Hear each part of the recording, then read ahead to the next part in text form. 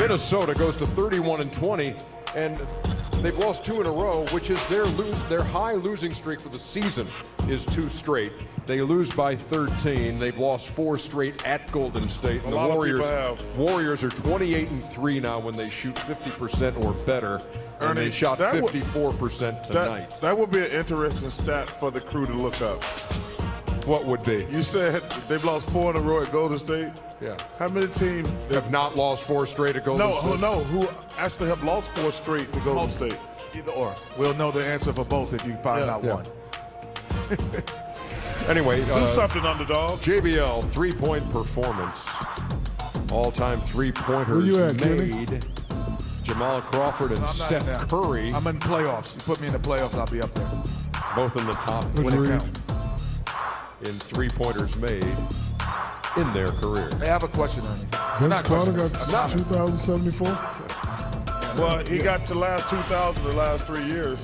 Now, what's the uh, what's the, what's your point of discussion that you'd it- like it's to? just, I just thought of this when Shaq said about you might as well give him the trophy. I just remember when Mark Jackson was the coach, and I, he invited me up to Coach C, Golden State. And he's like, Kenny, you see the guys in this locker room? I'm like, yeah. They're going to be meeting the president one day. I'm like, what do you mean? What is a social issue going on? They're like, no, they're going to win a championship. And at that time, I did not see it. He's, and he was talking about Draymond and how Steph, and he's like, they're going to be the best basketball players in the world. And I, you, when, when Mark was there and you said that, I'm looking at him like, he's just talking because he's their coach. He, they, he can't evaluate that type of talent and think that they, and they are. And then you add Kevin Durant to that.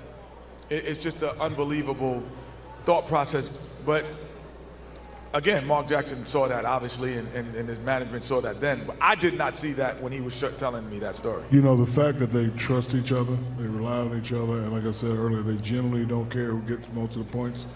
You can tell that they love playing with each other, and you know they play with such joy, and they play the right way. You know, it's a lot of teams with a one-two-three punch, and if one guy holds on the ball too long, it messes up the Florida offense. But these guys are free, free flowing, the ball, bing, bing, bing. Yeah, and it's the unselfishness there too, because you see a guy like Durant who's got a wide open three and says, "No, but Clay's got the wide open, even the more wide open three in the corner, and hits him." It's uh, That's too many options. Huh? Too many options. yeah. I mean, how, I mean, how are you going to contend with that? How are you going to cover all that, Chuckster? Well, number one, I think you still got to try to beat him up down low.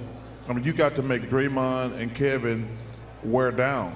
You got to beat them four times. You're not going to outshoot them, but you go down low like Karl-Anthony Towns. He's going to have an advantage against Draymond and Kevin down low, and that might wear them down in a seven-game series, and or they might get in foul trouble. But you're not going to just outscore these guys. I think. Uh, I tell you what, be an interesting matchup if they played the Pelicans with Anthony Davis and Boogie uh, down low. I mean, because nobody gonna stop Boogie down low. Uh, and Anthony Davis can guard out on the floor, and he can go down low.